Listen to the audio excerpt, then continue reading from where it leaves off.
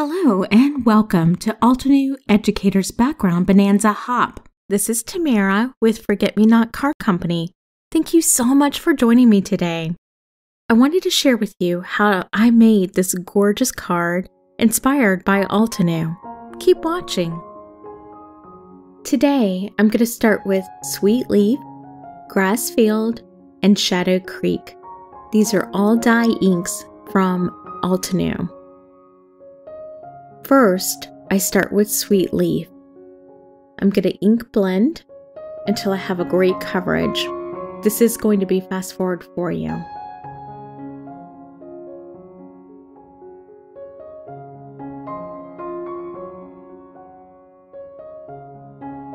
It took me a little bit to get a full coverage of this color. I think my ink is going a little bit dry, but I do manage it, even though it does take me a couple of attempts to get it right. Once I have a good base, I will then move to grass field.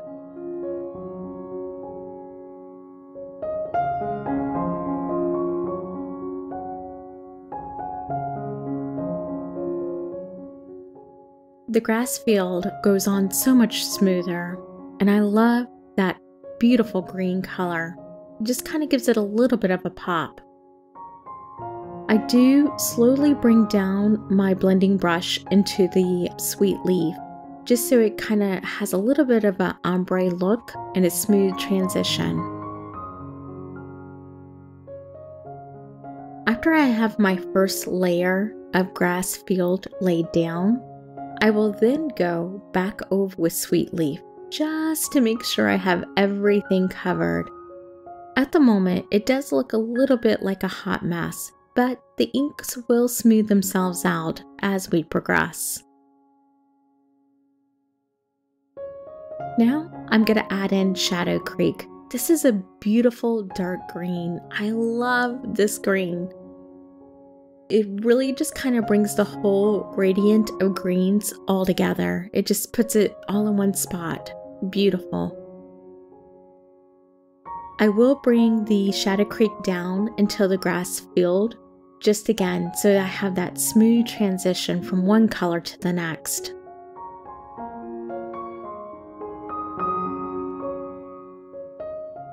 Now I will take the grass field and go back into my Shadow Creek.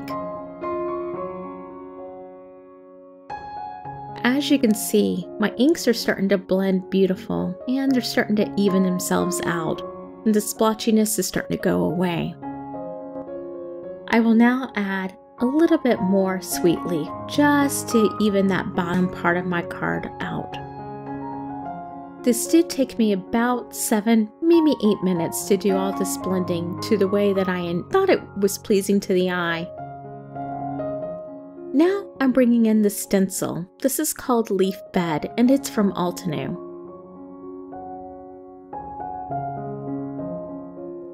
I'm going to spray the back of it with pixie spray just so that it will secure nicely onto my cardstock.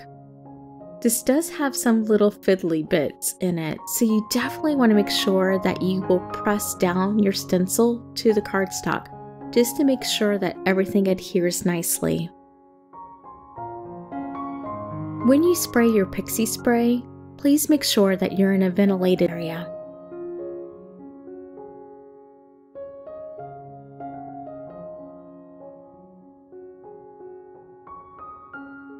Before I laid down the stencil, I did allow my ink to dry maybe about 20 minutes or so. I wanted to make sure that my cardstock did not have any dampness or I knew my stencil would not stick. I did use the grids on my mat in order to get a straight alignment.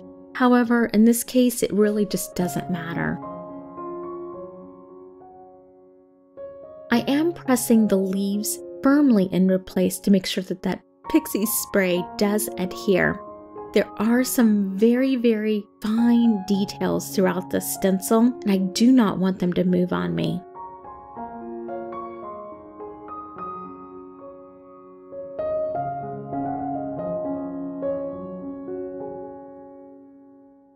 I am going in with a black Sharpie marker This is a permanent marker and it will do a beautiful job coloring for me.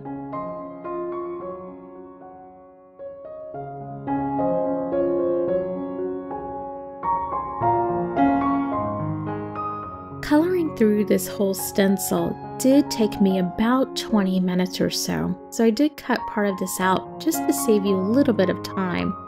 But essentially what I'm doing is I'm going on the outline of each leaf with the black Sharpie marker and then filling it in. I will then take a fine tip Sharpie marker, as you can see there, and I will go into those very, very hard to reach spots. This creates a very nice crisp look so when I remove the stencil, everything flows beautifully together. As you can see, this is a great Sharpie pen in order to get into all those little nooks and crannies. It's slowly coming together as you can see, and I'm going to remove my stencil for the big reveal. Isn't that gorgeous? I love the ombre colors just blend so beautifully together.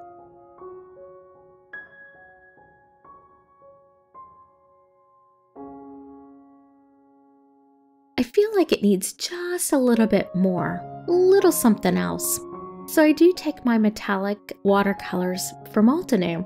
I do spray the gold and I let the water sit for just a couple minutes just to soften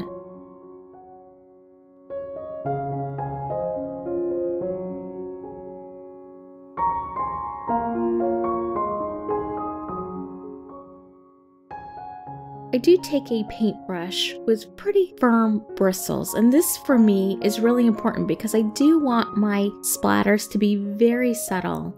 I don't want it overtaking all the work I just did, but I do want a little pop of gold popping through. I do mix the paintbrush through the colors, and I just basically flick it with my finger. This creates these tiny little dots just enough to give it that oomph, which is exactly what I was looking for.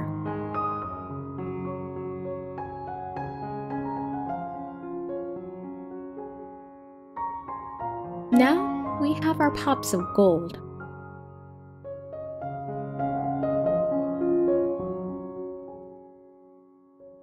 Here, I'm going to take the big greeting die from Altenew and I'm going to use the hello. I'm using gold metallic cardstock. It's like a gold foil. And in my craft room, I try not to have any waste at all. So what I do is I die cut my sentiment out of the center. You will never even know that it's missing.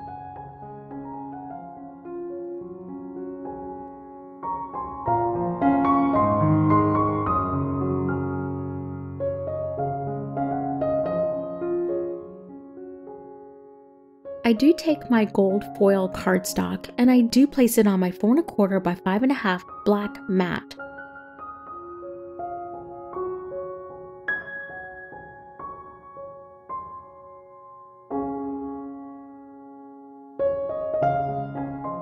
I got a little bit of glue on my gold foil, so what I'm doing is I'm just taking a microfiber towel and just wiping it off. This is also great to get rid of any smudges that you might have.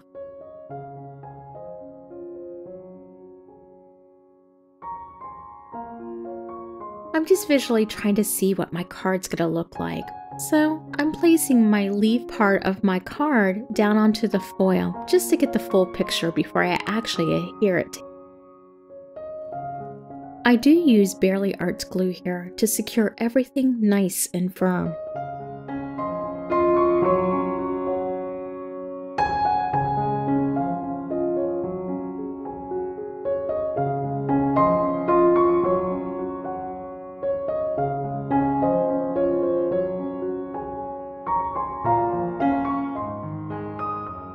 The way this is starting to come together.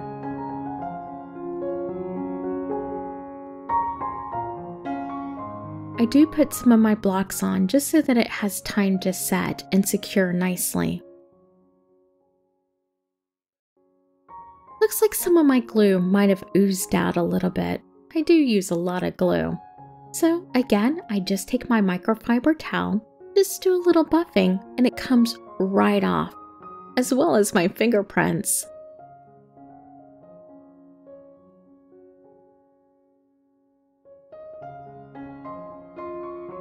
Now that that is secure nicely, I want to add my sentiment.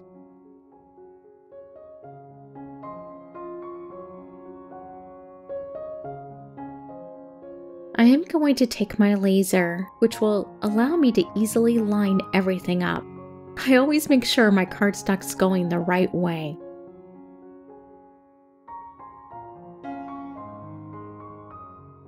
This little tool is so handy. Literally, the laser comes right out. I already know where I want my sentiment at, so just adhere it and then pop it right next to the red line. Nice and straight.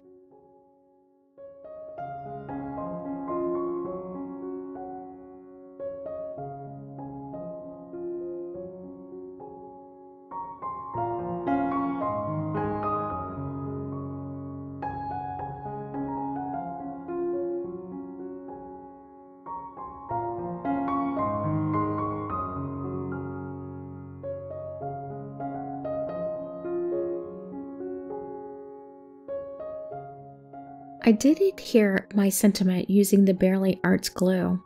And again, as you can see, this laser makes everything so easy to line up.